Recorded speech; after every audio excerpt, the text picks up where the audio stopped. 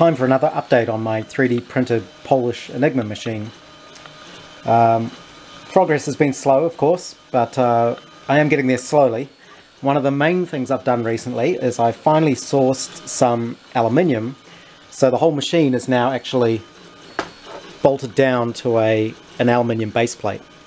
Um, that makes it a lot more rigid and uh, it's actually working a lot better now because it's not all flopping around.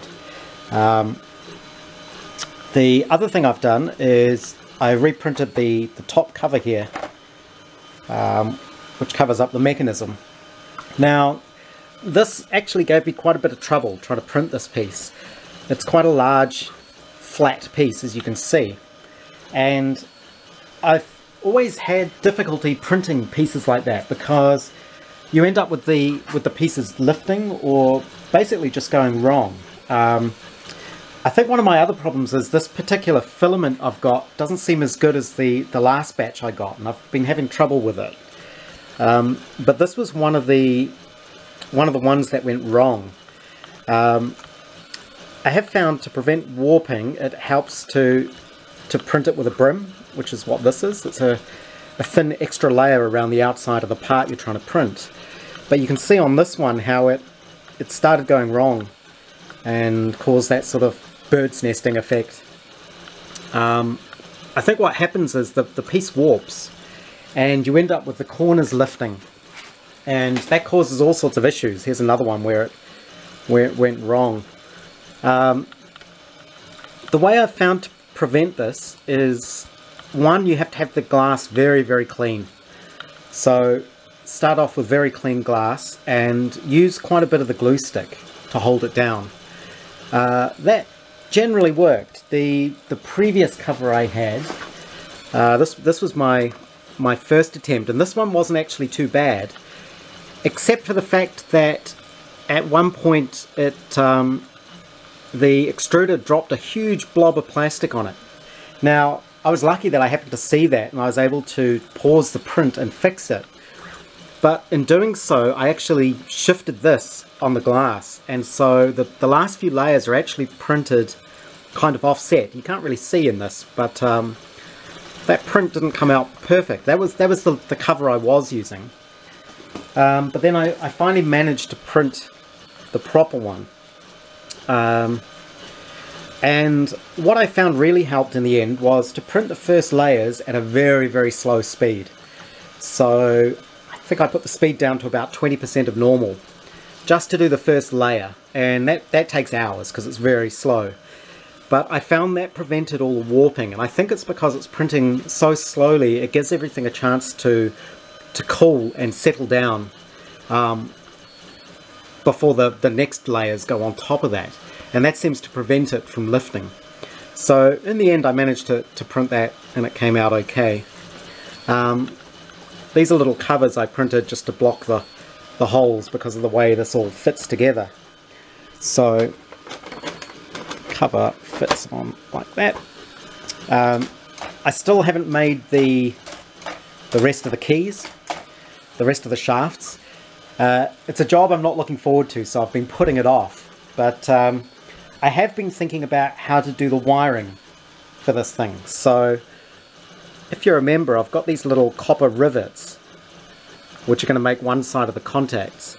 And I've been redesigning and reprinting my parts to allow these little rivets to fit into there.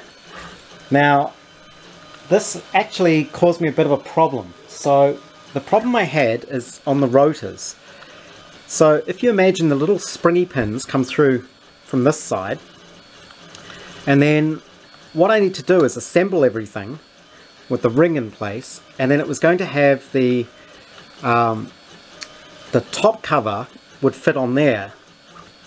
But of course the problem is this top cover this is this is actually from the entry wheel that's not the correct piece but the the, the top cover is more like that the inner part fits inside the ring and then there's an outer part that actually holds the, the ring in place now of course the problem I was going to have is there's no way for me to assemble that and solder the wires. So I've had to redesign all this. And what I've come up with is fairly convoluted, but it should work. So one of the other things I've done is I'm a bit worried about these, these little pins, the little springy pogo pins, which are going to be pressed through here. Um, they need to go all the way through. And those will be the springy contacts. Now there isn't really anything to, to hold these in. I was going to glue them, but I'm, I don't really want to do that. So what I've come up with is an extra piece that fits in the middle of the rotor, which is this piece here. Um, this has little hollows that the end of the pin fits into. And the way this will work is it's just a press fit onto the rotor like that. And now when the pins are pressed through, it gives them something to push against. I'll, I'll probably still use a little drop of glue on each one so they can't slide back out. But that means that the pin now can't slide further that way. Um, it, it's held by this. There's a second piece, which is this ring that fits on the top. And then the cover will hold everything in. Uh, the little gaps there are so I can run the wires because what I'm actually going to have to do is poke all the pins through. So you have to imagine the pin will be sticking out through there and then solder carefully onto the side of each pin. Bring the wires out and then organize putting them through. So what I'm going to do is um, this is this is one of the new cover pieces which will have these little copper rivets going through them. I'm not sure I can basically like that to make one side of the contacts.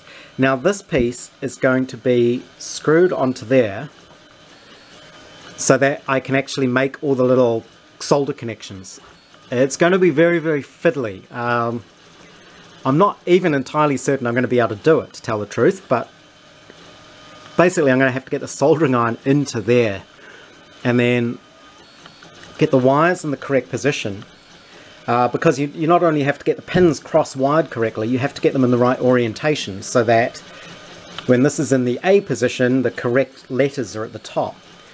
So it's going to be very fiddly, but the idea is basically I can assemble this as a unit and then once that's assembled the ring will actually fit on over the top and then I put the top cover on. Otherwise there's just no way for me to assemble it. So that's basically what I'm, I'm doing at the moment. I'm redesigning it and printing those sort of parts there. Um, the other thing I've done is basically it'll be a similar thing for the reflector. So this is the reflector there. And what I've done is I've raised the base of that up so that when you've got the little cover and the little pogo pins fit through it, uh, they don't actually go all the way through yet because I need to drill out the, the holes. Um, but when this cover goes on, the pins will push against that flat and they, they won't be able to fall any further in.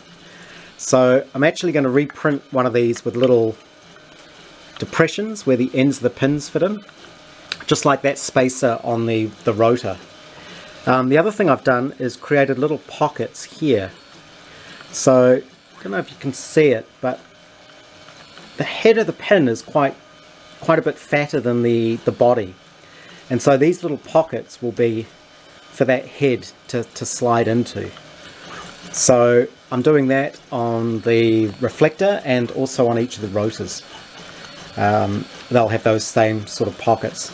It just means I have to reprint a whole bunch of parts that I've already printed, but I'm going to do one first and see if I can even actually wire the thing up, and we'll go from there.